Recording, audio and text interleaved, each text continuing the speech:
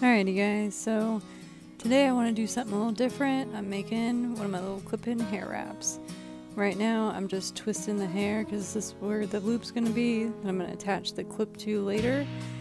So yeah, you can see, just put a little rubber band on there. I do cover up the rubber band with a little bead as you can see here. I'm just going to be popping in and out on this voiceover because my daughter keeps running in the room.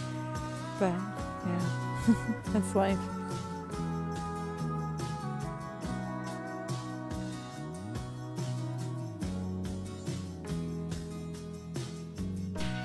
This clip that I'm using is actually just a backdrop clip, but it works really well. I've used it for a long time and it does the job, so.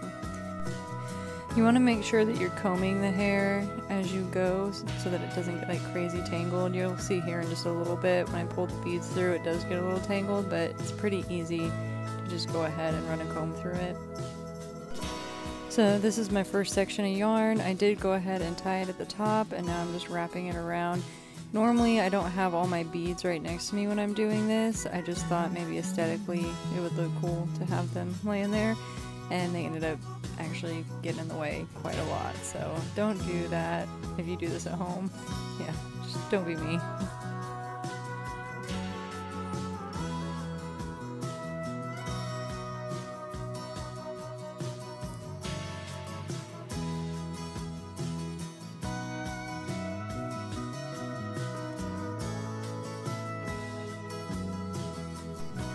I will say that with a lot of the yarn and the beads that I'm using, I get them at like Joann's and Hobby Lobby. Sometimes I find stuff at Michael's.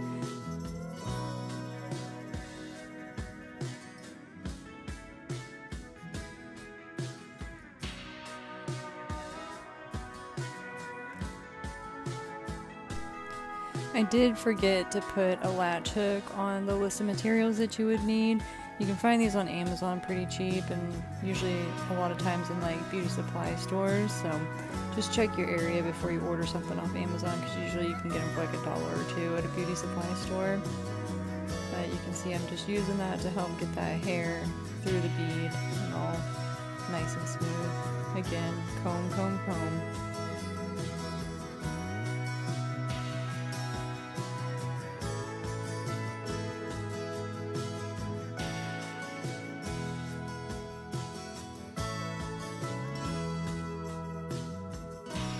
Here you're about to see latch hooks break easy, like that just happened right there.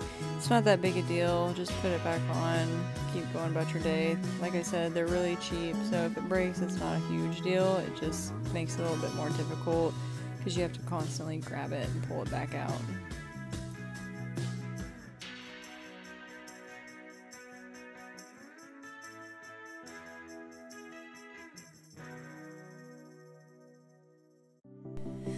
I do apologize that my camera kept going in and out of focus. I think that the little scarf I used underneath wasn't helping. It's just a lot of busy uh, prints going on. So, yeah, obviously it goes back into focus. But when it does go out of focus, like it does right here, just give it a minute and it'll go back in. So I do apologize about that. I'll try to be better on the next one.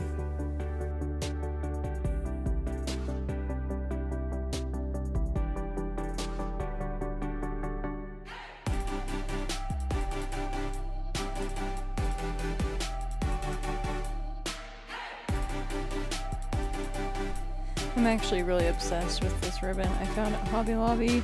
I think it's just so pretty and it gives such a fun, colorful vibe to the whole wrap. I just think it's so cool.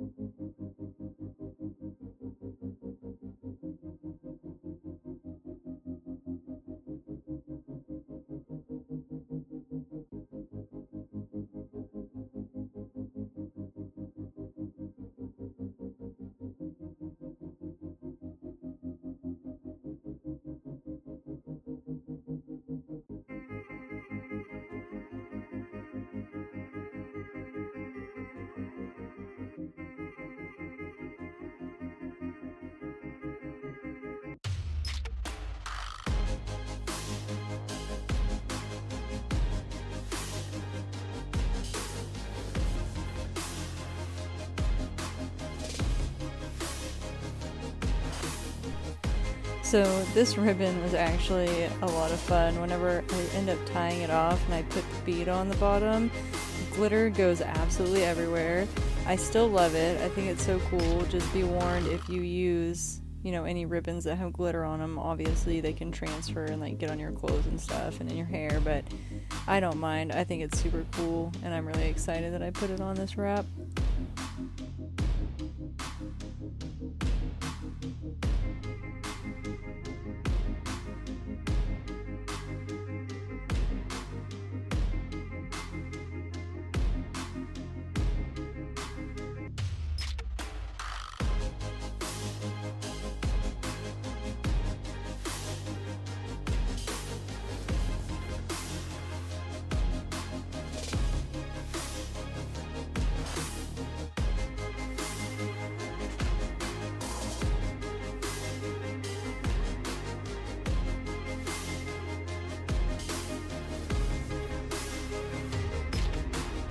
Right here I'm just tying two different types of ribbon on the very bottom.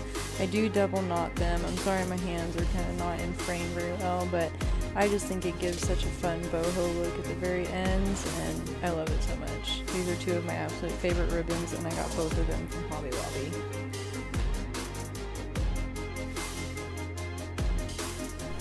I am trimming them right here just so that they're kind of even. And this is the fun part. So these little metal rings I get from Hobby Lobby, they're like $2 a pack. And I'm just sliding a clip in on it and then I'm going to go ahead and push that through the middle of that little loop that we made at the beginning. And all I do is just kind of bend it closed and rotate it so the little closed spot's in the middle. And there you have it. That is how I make a clip-in hair wrap, at least one of the different styles. I've made a bunch of them and I love them. So thank you for watching. I hope you enjoyed it and I'll see you in the next one. Bye guys.